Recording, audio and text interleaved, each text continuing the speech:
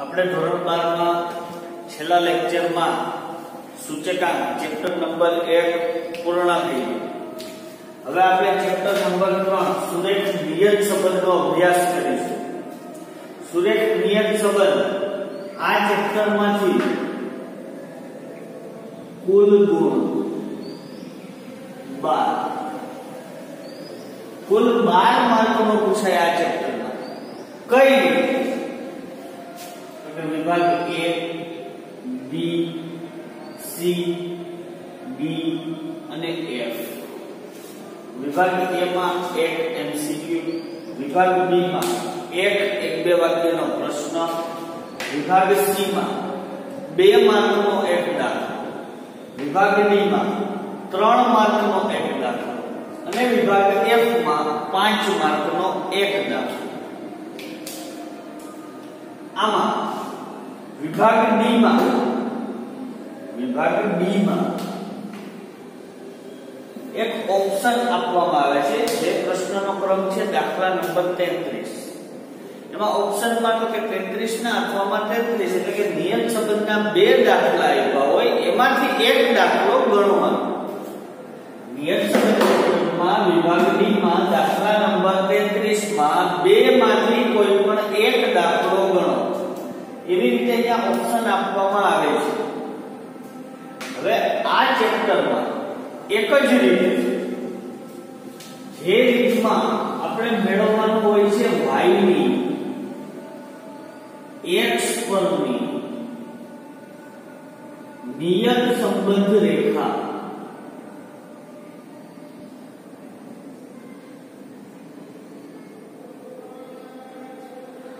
y નિયત સંબંધ રેખા. આના માટે, આના સૂત્રો. સૂત્ર બહુ સહેલા છે. આપણે ધોરણ 12 માં ચેપ્ટર નંબર બીજું સુરેખ સહસંબંધ. સુરેખ સહસંબંધ એટલે કે આ એના સૂત્ર ભણી ગયા. આ બરાબર જે સૂત્ર હતા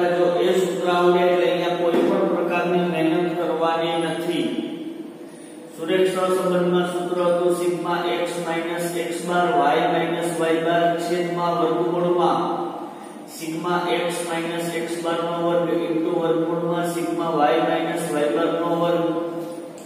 એવી જ રીતે અહીંયા b સૌથી પહેલી કિંમત નિયત સંબંધ રેખા ત્રણ સ્ટેપ છે એનું પહેલું સ્ટેપ છે b ની કિંમત.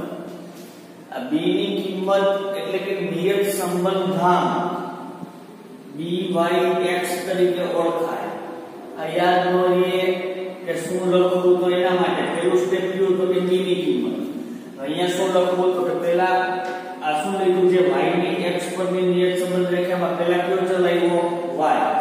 પછી કયો આવ્યો? X. એટલે કે by x. એનું સૂત્ર થાય. જે સહસંબંધમાં સૂત્ર હતું પહેલા આપણે લખીએ ગુણન પ્રકારની રીત એટલે કે x x બારની રીતનું સૂત્ર. એમાં અંશની કિંમત એમને જે સૂત્રમાં છે એ એટલે કે sigma x x bar y y bar છેદમાં શું લખવું? તો અહીંયા આજે આપણે લખ્યું છે b ની કિંમતમાં b x. એમાં છેલ્લે કયો ચલ આવ્યો? તો કે x. તો x વાળું પદ લખવાનું સૂત્રમાં x વાળું પદ શું છે? તો કે સિગ્મા x x બાર નો વર્ગ. પણ અહીંયા વર્ગમૂળમાં આવશે નહીં. વર્ગમૂળની નિશાની કરવાની નથી. આ byx નું પહેલું સૂત્ર byx ના આવા ઘણી બધી પ્રકારના સૂત્રો છે. એમાં બીજું સૂત્ર byx બરાબર. સહસંબંધાંક આગનું જે બીજું સૂત્ર હતું sigma x n into sigma xy minus sigma x sigma y છેદમાં વર્ગમૂળમાં n ઇન્ટુ sigma x વર્ગ minus sigma x, આખા કાઉન્સ ઉપર વર્ગ ઇન્ટુ વર્ગમૂળમાં n ઇન્ટુ sigma y વર્ગ minus sigma y નો વર્ગ. અહીંયા આપણે જોઈએ તો અંશની કિંમત એમના n into sigma xy minus sigma x. Sigma y છેદમાં. છેલ્લે કયો ચલ આવ્યો? એક્સ x વાળું પદ એટલે કે n ઇન્ટુ સિગ્મા x વર્ગ માઇનસ સિગ્મા x આખા કાઉન્સ ઉપર વર્ગ પણ અહીંયા વર્ગમૂળની નિશાની કરવાની આવશે નહીં. એના પછી ત્રીજું સૂત્ર x બરાબર રીત નંબર 3 એટલે કે યુનિની રીત ટૂંકી રીત. પણ ટૂંકી રીત જે યુનિની રીત છે, એમાં બે પ્રકારના દાખલા આવતા પહેલું શું હતું તો કે u બરાબર x a અને v બરાબર y b અને બીજું શું હતું તો કે u બરાબર x a છેદમાં cx એટલે કે cx એટલે કે x ની કોલમમાંથી સામાન્ય કાઢેલી સંખ્યા. V બરાબર y b cy cy એટલે તો કે y ની કોલમમાંથી સામાન્ય કાઢેલી સંખ્યા આવા દાખલા આપણે સહસંબંધ ચેપ્ટરમાં ભણી ગયા. તો અહીંયા સહસંબંધ ચેપ્ટરમાં આ બે રીત માટે એક જ સૂત્ર હતું. એ સૂત્ર શું હતું? કે m sigma uv sigma u sigma v છેદમાં. વર્ગમૂળમાં m sigma u square sigma u આખા કાઉન્સ ઉપર વર્ગ ઇન્ટુ વર્ગમૂળમાં n sigma v square sigma v નો વર્ગ. આ એક જ સૂત્ર. પણ અહીંયા નિયત સંબંધ ચેપ્ટરમાં બે અલગ અલગ પ્રકારના સૂત્ર આવશે બે યુનિટ માટે. તો પહેલું શું છે? તો કે dyx બરાબર. આપણે કઈ રીતે દાખલો ગણવો છે? તો કે uv ની રીત એને લખવું પડે. y માટે માટે આપણે કયો ચલ બનાવ્યો, v. પછી શું છે? તો કે x. x ની કોલમ માટે કયો ચલ બનાવ્યો, u. તો byx બરાબર bv u. હવે એના સૂત્ર માટે, અંશની કિંમત એમ ના એટલે કે n sigma v sigma u sigma v, છેદમાં. છેલ્લે કયો ચલ આવ્યો. તો કે bvu u. તો u વાળું પદ લખો. N sigma u square sigma u આખા કાઉન્સ ઉપર વર્ગ વર્ગમૂળની નિશાની આવશે નહીં હવે u ની રીત છે તો byx બરાબર u. આ સૂત્ર એમ n sigma uv sigma u sigma v છેદમાં n sigma u square sigma u નો વર્ગ. પણ જ્યારે cy અને cx આ બંનેની ગણતરી કરેલી હોય ત્યારે અહીંયા ગુણાકારમાં આવશે. આ એક પ્રકારની કિંમત. કે ભાઈ, કઈ કિંમત અહીંયા ગુણાકારમાં આવશે? તો કે પેલા કયો ચલ લખ્યો છે y અહીંયા અંશમાં શું આવશે? cy છેલ્લે કયો ચલ છે? x તો અહીંયા છેદમાં આવશે cx આ આટલું વધારાનું આવશે. જ્યારે આપણે સિવાય અને cx ની ગણતરી કરેલી હોય, ત્યારે સૂત્ર પછી ગુણાકારમાં cy ના છેદમાં cx આ b ની કિંમત મેળવવા માટેના સૂત્ર થયા. આ બધા સૂત્ર 3 માર્ક અને 5 માર્ક જે મોટો દાખલો પૂછાય છે, એમાં જ પૂછવામાં આવે છે. એના પછી ટૂંકા દાખલા માટે બે સૂત્ર છે b બરાબર. અથવા તો byx આ byx ના મતલબ ખાલી b લખો, ટૂંકા દાખલામાં તો પણ ચાલે. Dyx બરાબર r sy ના છેદમાં sx અને બીજું સૂત્ર છે dyx બરાબર કોવેરિએશન ઓફ xy ના છેદમાં sx વર્ગ sx વર્ગ એટલે થાય x નું વિચરણ આ બંને સૂત્ર ટૂંકા દાખલા કે જે બે માર્ક અને ત્રણ માર્કમાં પૂછાય એના માટેના છે. આજે આપણે b કિંમત મેળવી. એને શબ્દમાં બોલાય નિયત સંબંધાંક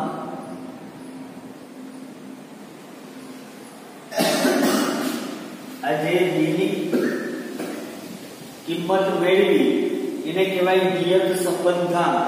આ એનો પહેલો સ્ટેપ છે y ની x પરની નિયત સંબંધ રેખા મેળવવા માટેનો. આજે 6 સૂત્ર લખ્યા b એમાંથી b કિંમત મેળવવા માટેના આજે છ સૂત્ર છે. એમાંથી કોઈ પણ એક રીતે આપણે ગણતરી કરી અને એટલે કે નિયત સંબંધાંકની કિંમત મેળવવાની આવશે એટલે કે આ પહેલા સ્ટેપની કિંમત મળે. જો 5 માર્કમાં દાખલો પૂછાય તો 3 માર્કમાં દાખલો પૂછાય એટલે કોષ્ટકના સ્વરૂપમાં હોય તો આ ચારમાંથી કોઈ પણ એક સૂત્ર આવશે. 2 માર્ક અને 3 માર્કમાં દાખલો પૂછાય અને સીધી કિંમતો આપેલી હોય covariation of x, y sx વર્ગ આવી કિંમતો તો આ બે સૂત્રનો ઉપયોગ કરી બેમાંથી કોઈ પણ એકનો અને b કિંમત મેળવવાની થાય. એના પછી બીજું સ્ટેપ છે.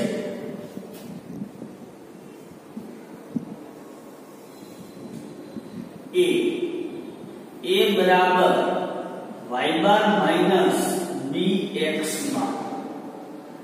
આ a છે એને શબ્દોમાં બોલાય અંતઃખંડ આજે a ની કિંમત છે એને શબ્દમાં બોલાય છે અંતઃખંડ એના પછી ત્રીજું સ્ટેપ છે y કેપ y કેપ આ જે નિશાની છે એને કેપ તરીકે ઓળખવામાં આવે છે. નિશાની આ રીતે થાય. Y ની ઉપર કેપ બરાબર a bx આ જે y કેપ છે, એને બોલાય છે નિયત સંબંધ રેખાનું.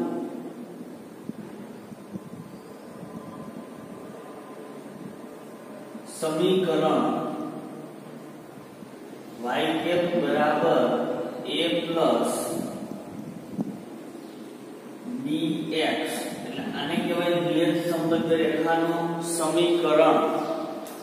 એના પછી આ આપણો અહીંયા એક દાખલો પૂરો, કે ભાઈ y ની x પર જે નિયત સંબંધ રેખા મેળવો તો b ની કિંમત મેળવવાની, પછી a ની કિંમત મેળવવાની, અને છેલ્લે y કેપ.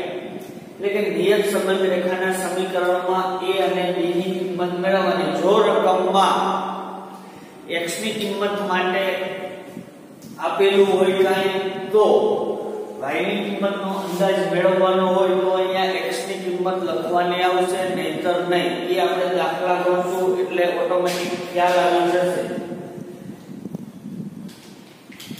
એના પછીનો મુદ્દો આવે છે. નિશ્ચયતાનો આમ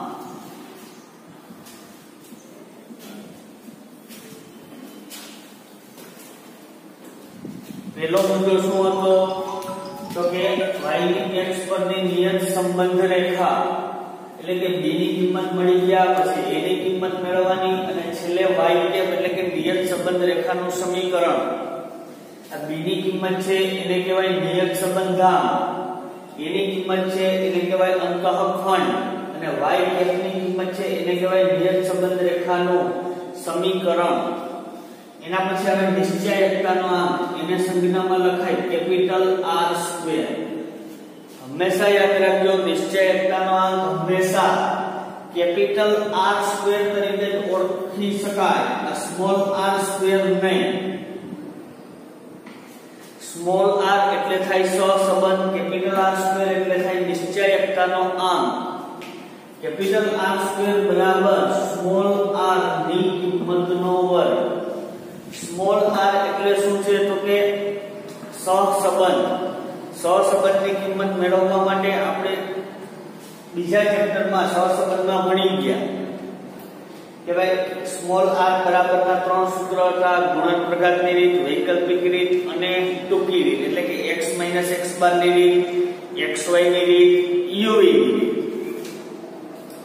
કેપિટલ R સ્ક્વેર બરાબર સ્મોલ r સ્ક્વેર જ્યારે દાખલામાં નિશ્ચયકતાનો અંક મેળવવાનો કીધો હોય ત્યારે પહેલા કઈ કિંમત મેળવવી પડે? સહસંબંધ. એટલે કે સ્મોલની કિંમત. એના પછી અંદાજીકરણની ત્રુટિ.